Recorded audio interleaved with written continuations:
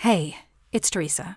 Before we get started with this episode, I wanted to quickly tell you how Anchor by Spotify helps storytellers. Honestly, if I hadn't found Anchor, I'm not sure I would have even started this podcast. For the last year or so, I've recorded, edited, and shared more than 50 episodes on all the major platforms using Anchor. I use the same equipment that I record audiobooks on as a narrator, but you could record and edit a podcast right from your phone or computer using Anchor. They have everything you need. And best of all, Anchor by Spotify is totally free. So, if you know someone who has a story to tell, an idea to share. Let them know they can download the Anchor app or go to anchor.fm to get started. Okay, let's get on with the episode. Thank you for listening. This is a story about a seasoned war photojournalist named Annie Green. The timeline is 2015 and Annie is headed back to Afghanistan on assignment. She's struggling through PTSD from the last time she was there. When a girls' school she was working at exploded, killing her closest friend. She's also facing betrayal from a rival journalist, and she's navigating the delicate balance of love, motherhood, and a dangerous career. We're talking about Double Exposure, the thrilling fiction created by author Jeannée Sacken.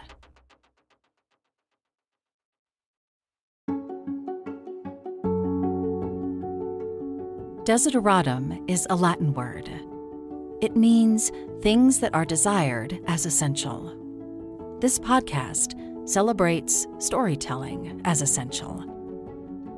I'm audiobook narrator Teresa Bakken showcasing the talents of my author and narrator friends. I hope you'll hear an artist you love or find your next favorite wordsmith.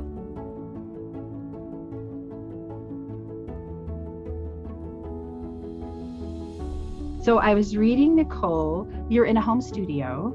Mm-hmm. This is Nicole Swanson She's the voice of Annie Green, the narrator for Jeannée Sacken's series. We start the conversation with the author and her narrator, with Nicole sharing how she works and how her work as a narrator is influenced by her other profession. So, I'm still currently working as an occupational therapist, and I work in the Georgia Department of Corrections, the flagship prison hospital for Georgia. And I'm a bit of a unicorn. I'm the only OT in the Georgia Department of Corrections. we have lots of physical therapists, but occupational therapists, it's just me. Um, I have to tell you, I've recently gained an assistant in Wesley, who is my facility dog. So my daughter is a puppy raiser for Canine Companions in her college program at University of Pittsburgh. And so she said, Mom, you've got to get a facility dog for your practice. And so in February, I did. I went through this whole process of interviewing and visits and this application. And then I went for a two week training and they matched me with Wesley. And um, it's been amazing. It's been amazing for me as a practitioner and my patients. I've had some patients tell me it's the first time they've pet a dog in 30 years because they've been incarcerated. Well, so how do you think that those experiences with people in that particular human condition informs how you perform your storytelling. Well, it's very interesting. I've I can't develop too close of a rapport with my patients because there's an element of danger there. But uh, but I am able to have some conversations, and especially now that I have Wesley, and he's kind of a bridge to kind of have a neutral conversation. Yeah, it, it kind of gives you an extra prism, more angles to look at than, you know, I mean, I, I grew up in suburban Augusta, Georgia, and I have this very relatively easy, clean, privileged life. But, you know, to to hear these other stories, you can kind of get different angles on what other people are dealing with. It's, it's amazing. It's been super useful in my acting, but also just as a person, it's very interesting to understand some of the situations other people are going through. Having your life in that capacity as an occupational therapist, but then also having narration as something and acting and performing story, something you're doing part time, allows you the flexibility to choose your projects.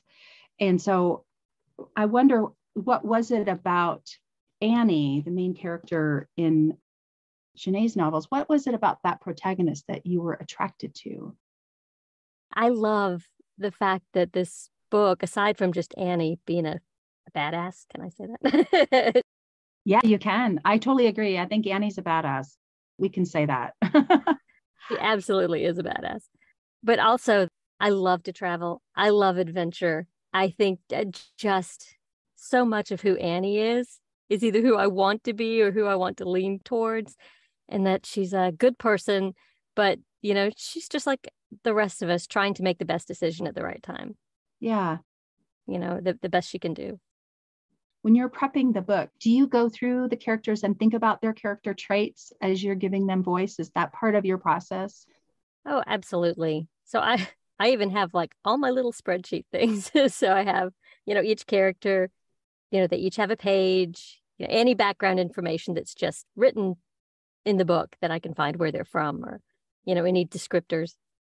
I look at their upbringing and where they're from and all of the little different elements that make up who they are. I mean, I've been acting for a long time since I was 10. So a lot of that character development, I just love that anyway. And I love to coach that. I have a couple of acting students that I coach. And I, I just, I don't know. I guess I just like figuring out people. This time around, our producer, Craig, asked me to give Nicole a playlist. Okay, that new voice you just heard is author Jeannée Sacken, chiming in with a question for Nicole. She's talking about a music playlist that the audiobook producer Craig Hart suggested she create for her narrator. Our producer, Craig, asked me to give Nicole a playlist, which I did. And I'm interested in knowing how you use that. Um, well, it's actually very funny because a lot of the songs you put on the playlist are on my personal playlist, which was great. I'm like, yeah, these are excellent songs. Being able to listen to it once in a while and just kind of get a feel for that I don't know, it, I related to it. So I didn't need to like play it while I was reading or anything like that, but um, just to take some time to enjoy it while I'm thinking about, you know, the characters. Was that a hard assignment, Jeannée? Was it a hard assignment to come up with a playlist? How did you do it? I went back and just channeled Annie.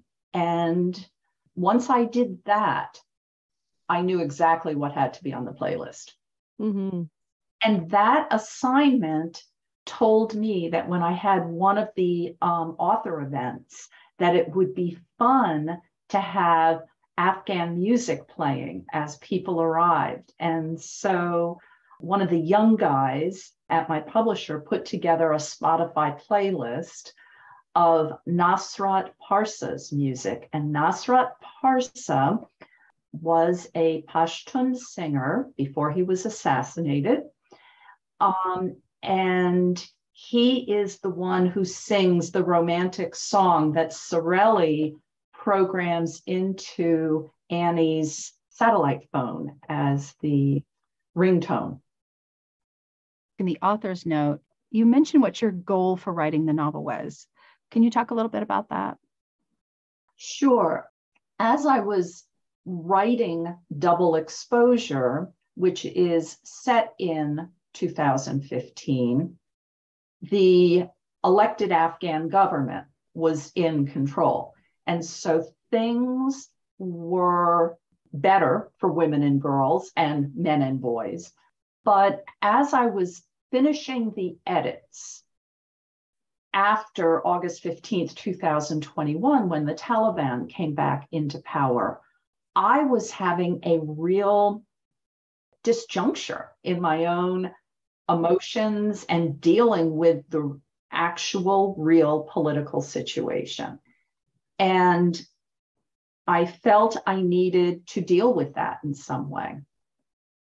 And so I knew, I mean, I knew from the beginning that the Taliban were going to shutter girls' schools, which is a focal point of both of these books is education for girls. Yes. And even though the Taliban were saying, oh, we have to study the Quran and see what the Quran says, I'm sitting in my little studio saying, we all know what the Quran says. I have multiple translations of the Quran. Nowhere does it say girls cannot go to school. Nowhere does it say that education for girls has to stop at grade six. What it says is that men and boys, women and girls should be lifelong learners. And it also says women and girls are the other half of men and boys. And anything that is true for men and boys is equally true for women and girls. So the Taliban took their time and waited an, almost a year until this spring to say um, education for girls above grade six would be illegal. Well, I, it's so clear reading that you have a very deep knowledge about this region, the religion, um, the language. Like I think it's it's so carefully, thoughtfully presented, and I think you know, in addition to this this conflict in this area and this region and this idea about education and and women and their rights, to me, there's kind of a theme of of interpreting code. Yeah. This poem that's really kind of a coded message. Mm-hmm and you have multiple languages going on and of course language is code and i think you've played with messaging and coding and communication in a really subtle way through this whole story. And i guess where's the question right?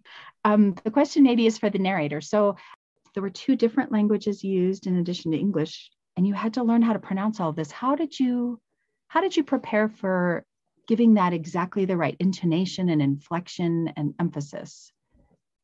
Uh, well, I have um I have a friend who worked. He was in the military in Afghanistan, and he worked with an interpreter there. Oh wow! He connected the two of us, so I was able to have some conversations with him, and he helped me with, with pronunciation. He he was fantastic. But then I also ended up getting a Pimsleur course for Dari and Pashto, and just to kind of get the words familiar enough in my mouth my speaking. Yeah. I actually spent a little bit of time learning the basics of the language to um to just make it a little bit more natural. One of my favorite lines is when Annie says, "Your eyes are beautiful," and that this is a traditional Afghan way of deflecting a compliment. And I think that's such a universal thing that we're all so good at deflecting compliments. But that I'd never heard that before. That's beautiful, isn't it? Really is. It's beautiful. Like, so where did you learn that, Jeannée? Where did you pick that up? Um, I actually discovered Your Eyes Are Beautiful um, while I was writing Double Exposure. I had not heard that before. And could I just say that one of the things that I love most about Nicole's narration is the fluency with which she does the Dari and the Pashto. And there's not a hesitation. It just slides so smoothly and it's just it's a pleasure. It's just it's joy to listen to. Oh thank you. I appreciate that. It was fun. The thing that did surprise me the most is how many sounds that are in Dari and Pashto that are, do not exist in English at all. And I like to think I'm pretty good at, at learning foreign words or accents. And, you know, I can look at it on the page and I can figure that out if I have a general knowledge of that language, you know. But um, let me tell you, I would be talking to the interpreter and he would say the word. I'm like, I don't see those sounds anywhere in this word. Like things that you would expect to sound a certain way sound completely different than those letters would be in English or any other Romance language. Yeah, just fascinating. One of the things that kind of hovers in the background in this is PTSD. Sometimes Annie is is experiencing something in the book and the reader's not even sure if it's real. She's also interpreting her own kind of gut feelings that she has these sort of moments of vivid memory and vivid experience that are so beautifully written where did that come from um, i have a fairly vivid imagination and my memories are very vivid and i think i just tapped in to that i also liked the idea of juxtaposing the PTSD, and we're always in Annie's head. So you're right. We are never sure if something is actually happening or if it's Annie having an hallucination or a nightmare. Um, but I really wanted to juxtapose the voices, the experiences that are out of her control with some voices that are part of her everyday life.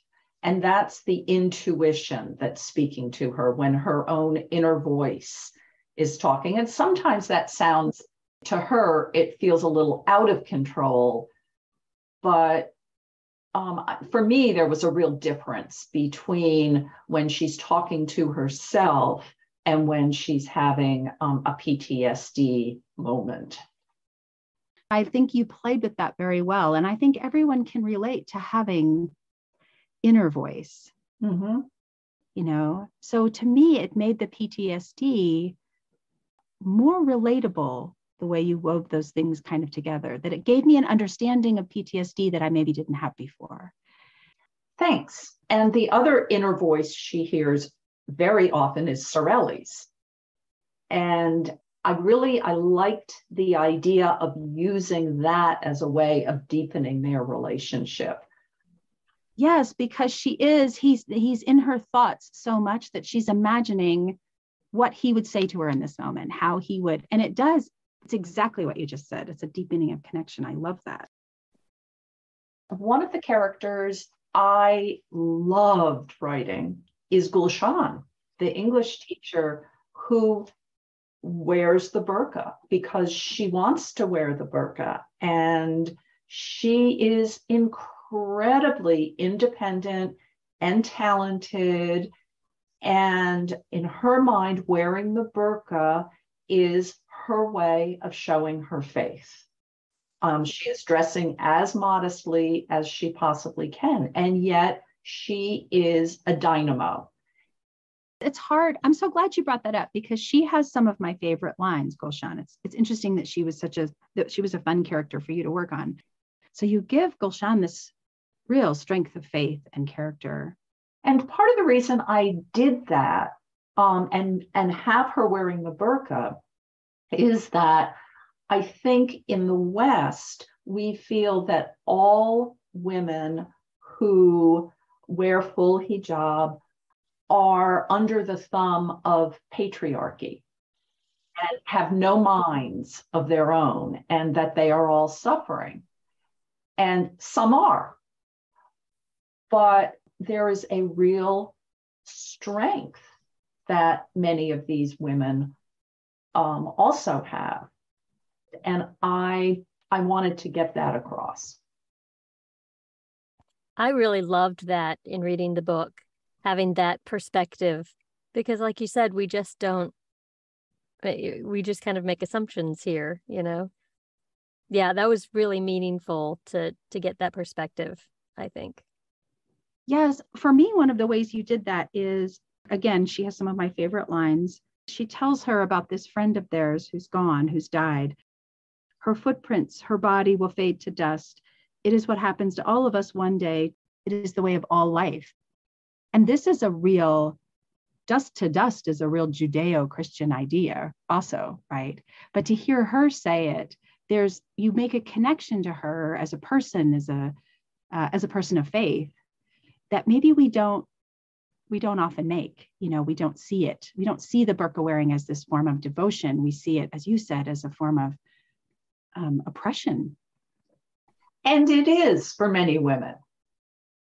Um, you know my cultural and religious sensitivity reader the incomparable heba el-kubaitry says the quran is explicit about not covering the eyes which are the windows to the world and not covering the hands, which you need to pray. And the burqa does both of those things. And the burqa, whether you look at it as a way of hiding women from the world, of covering them so that men are not enticed or seduced as though that's the woman's fault, or if it's um, the burqa is the only way they can get out of the house and be not identified and so gain some independence to move around. Those are patriarchal. Yes, and you you you allow the reader to have that contradiction of thoughts and and evaluate it through Annie because I think she really even says that. She talks about how she can see it as this form of freedom of movement within this patriarchy but that really what she respects about Gulshan is that she has the she has the freedom of choice, right? Mm-hmm. Like that's the real goal is that she choose this is what she chooses. She does. And Gulshan is married to a fairly liberal man who loves his wife. And this is also in 2015 when the burqa was not required and especially in the Panjshir Valley, which is the most peaceful and um, I hesitate to use the word liberal, but it was a very peaceful area of Afghanistan, and it was and still is ruled by the Masood family, and they are still actively um, rebelling against the Taliban. It's interesting how we we're looking at it through the lens of today. We know what happens next. And yet there's still there is a lot of hope in it. For that time you see how in 2015 there was hope. They're building the school. They're dealing with the pressures but you you have you give us a sense of hope but it is sort of bittersweet isn't it knowing as a reader what happens next? One of the things that happens is stateside too. You have a section of the book where we're in milwaukee um, Annie's daughter's in Milwaukee, and we have you kind of thread these plot lines together of what's going on here.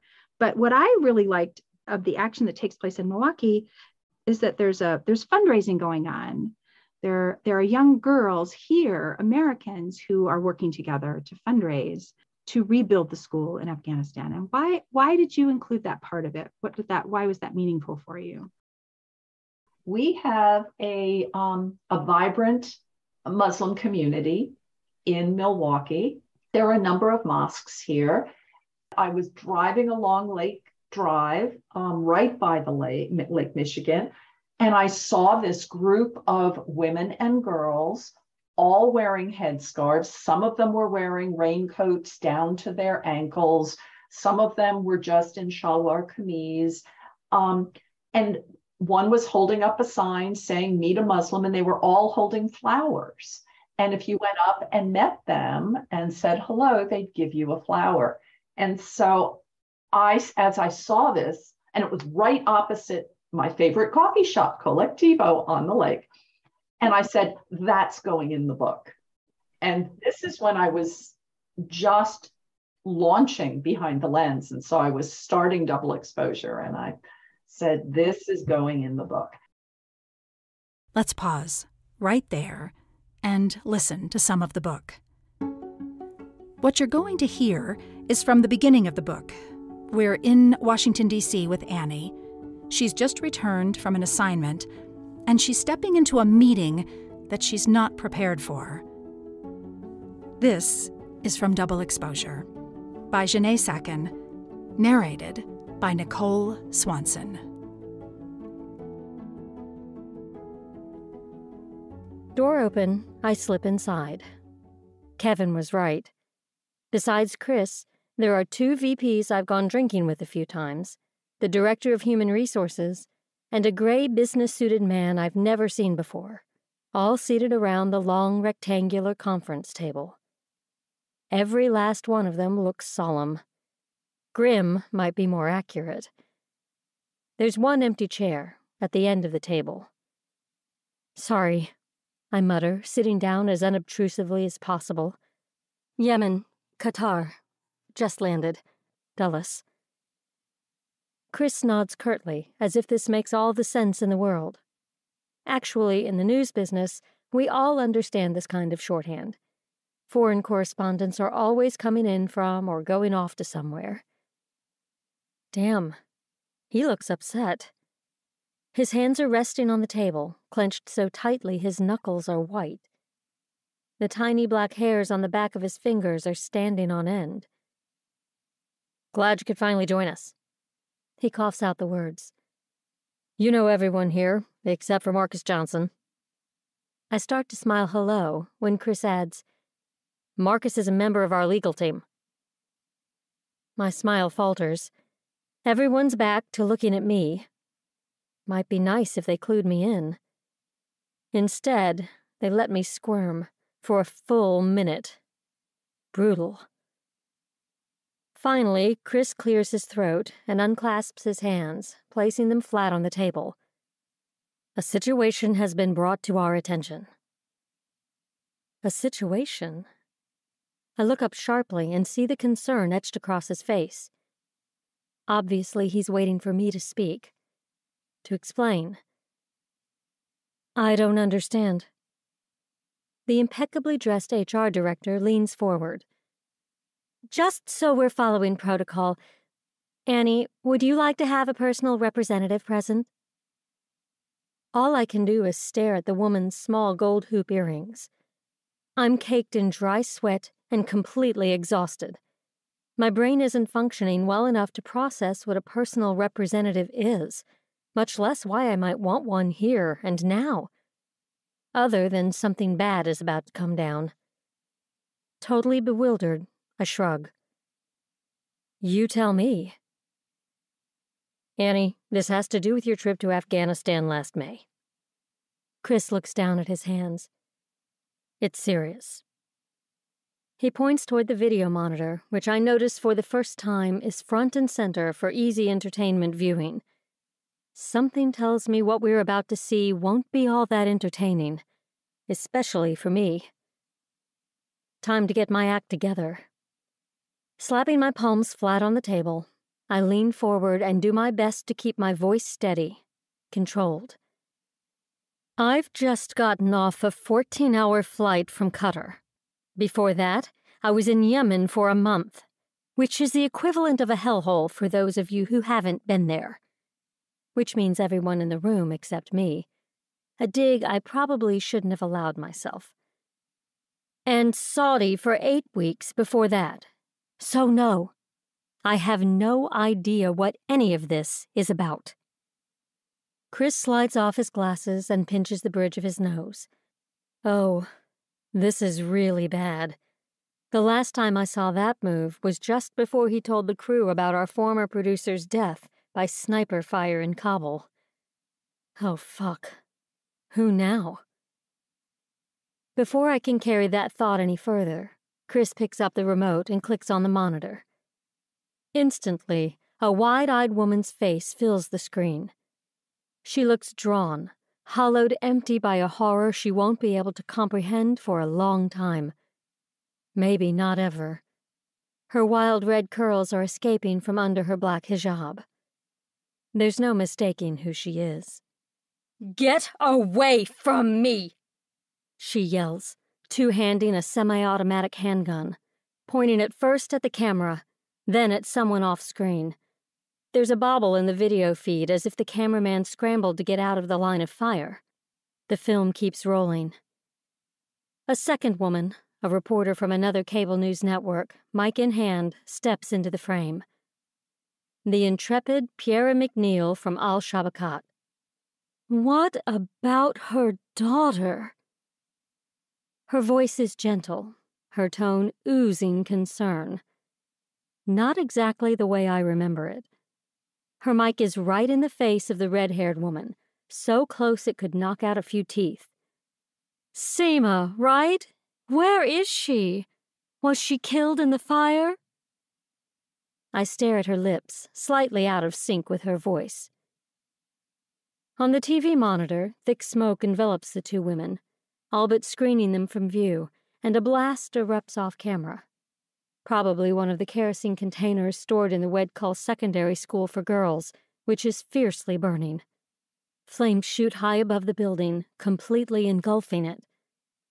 The smoke clears, and the charred remains of a once white Toyota pickup are just visible, embedded in the front classroom. Off to one side, Tariq Ghafoor kneels next to the body of his wife, Darya Faluti. My best friend.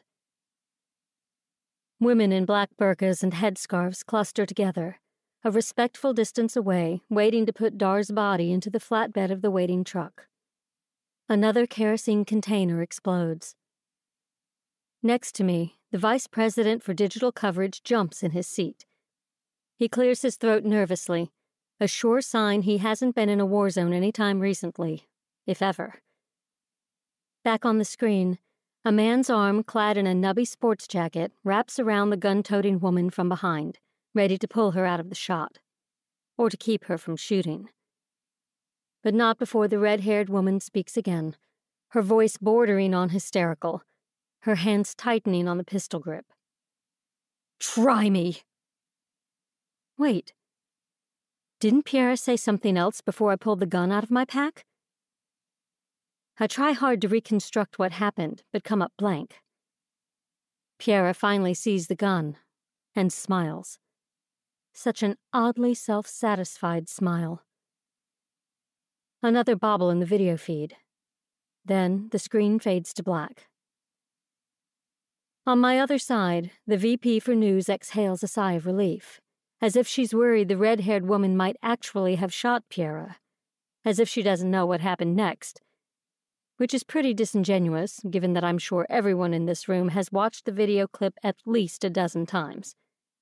Everyone, that is, except me.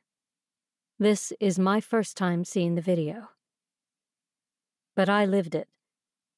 I'm the woman training the gun on Pierre McNeil. We're going to jump back into the conversation now.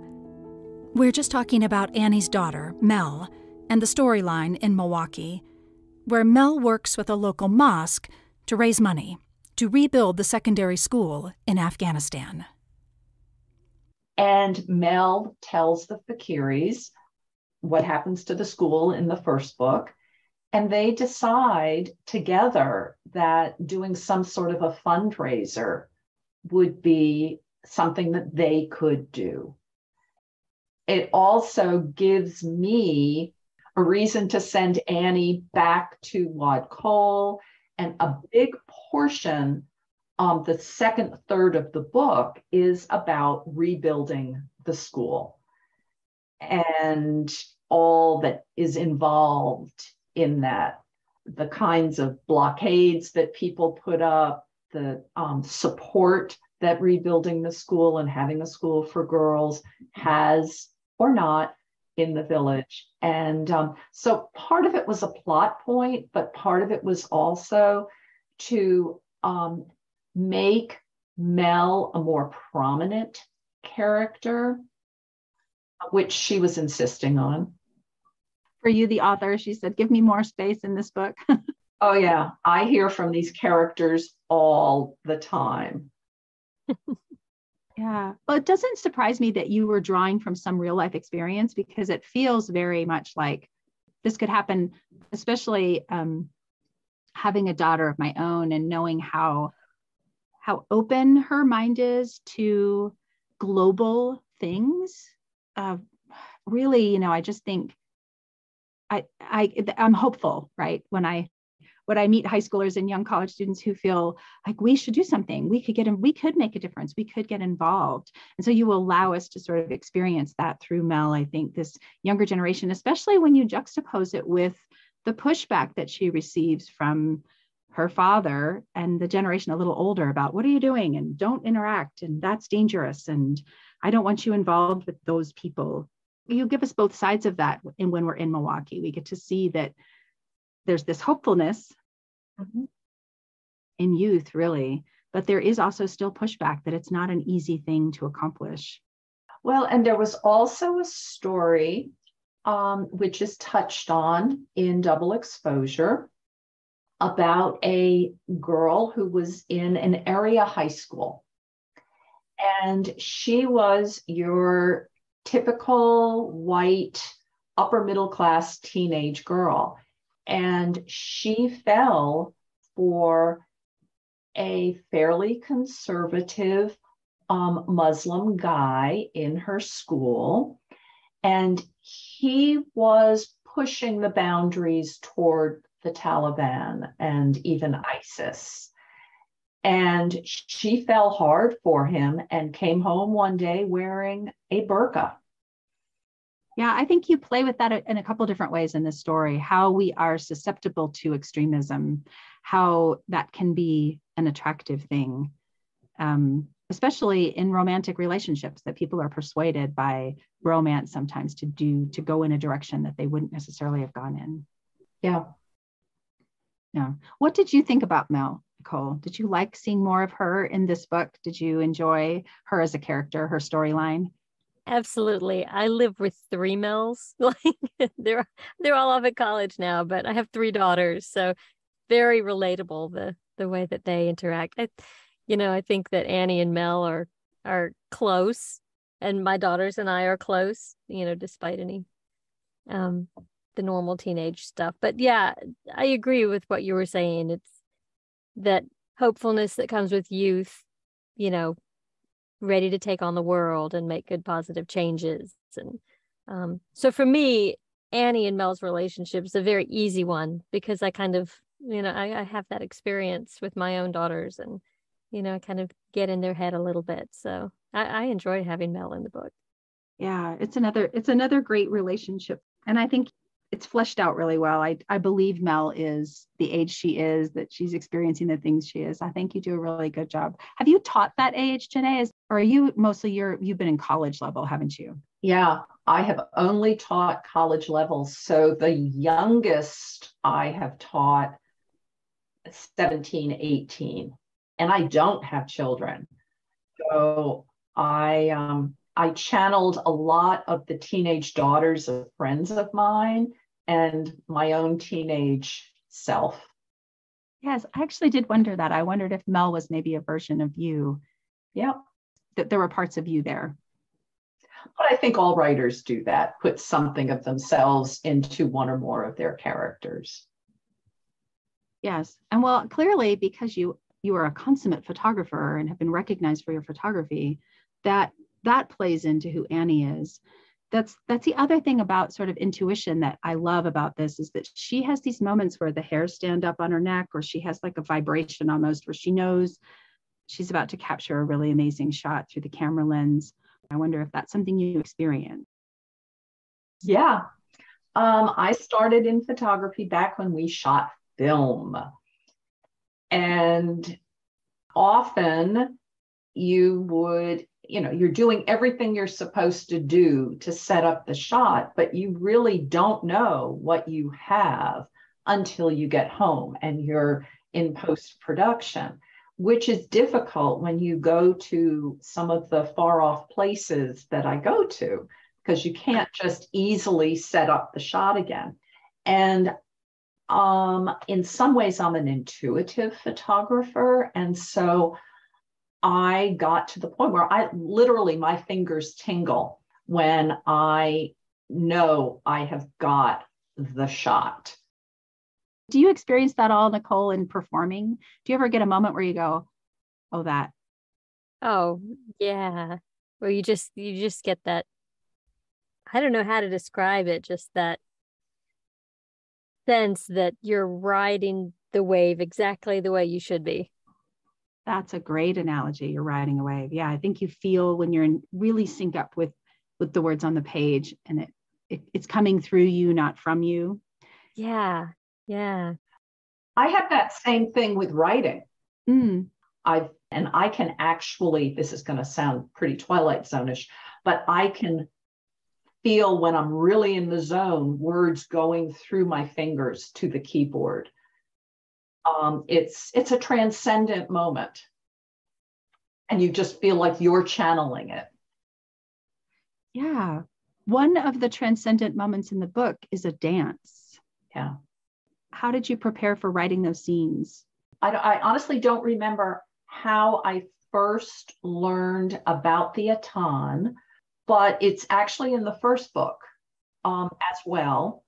Yeah. Had you heard of it before, Nicole? Had you ever heard of it? No, I hadn't. No.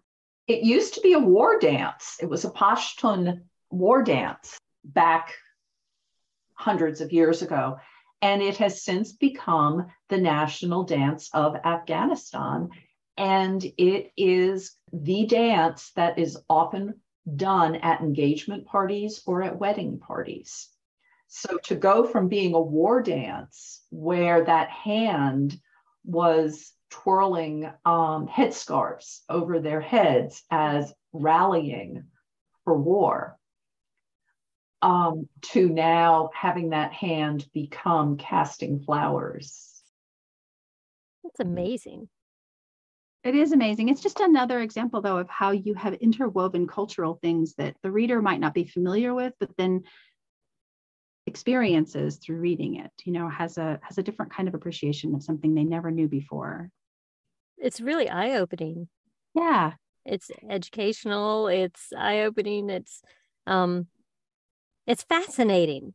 I mean, I enjoy learning about other cultures. That's, you know, I'm a discovery kind of gal, but the attention and the care to all the details, and it's, you don't, it's not like you're hitting the reader over the head or the listener over the head with, this is the Attan and you know this is what you know it's it's so interwoven into the story and so natural that we pick up on all of this information and all of these uh, one of the things I have to say is um the food, describing the food. I I I have a recipe for shakshuka now that I make on occasion. I mean, I um, I just love it, and it's so detailed that you can taste it when you're when you're reading it. So you've done a really really beautiful job of of immersing, I think, the reader or the listener into the the culture and letting them have that experience.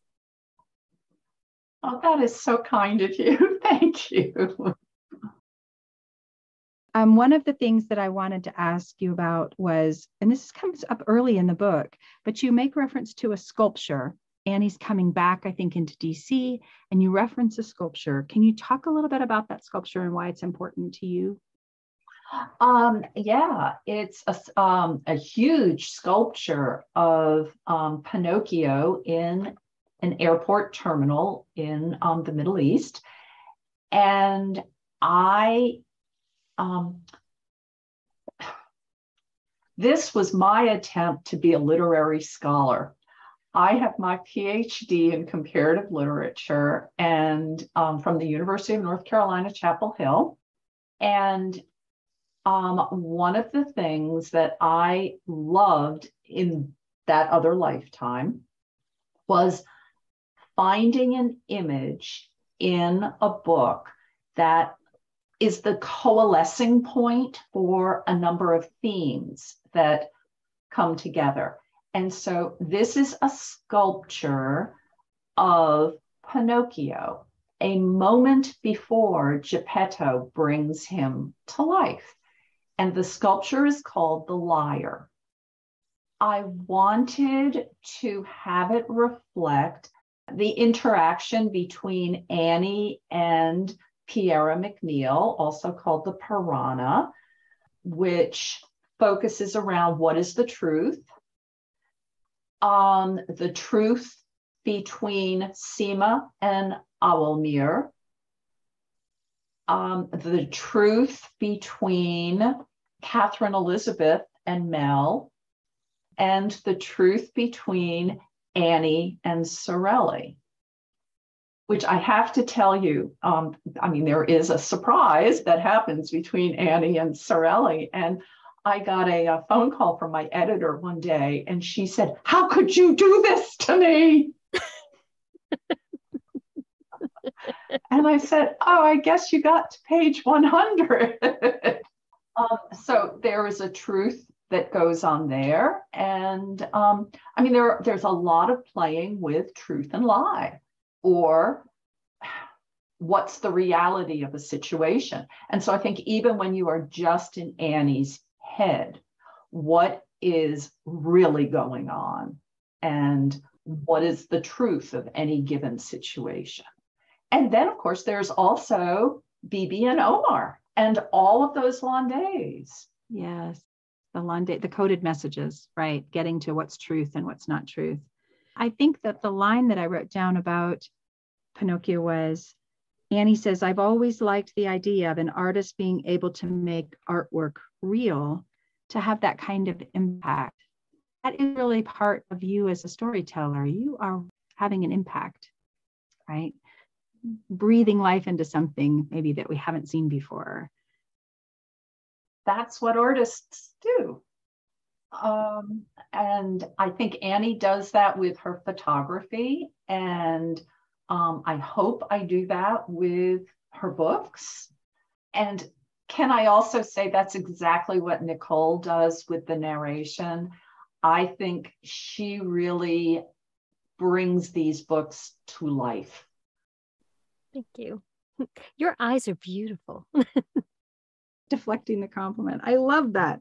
I love that. You're brilliant.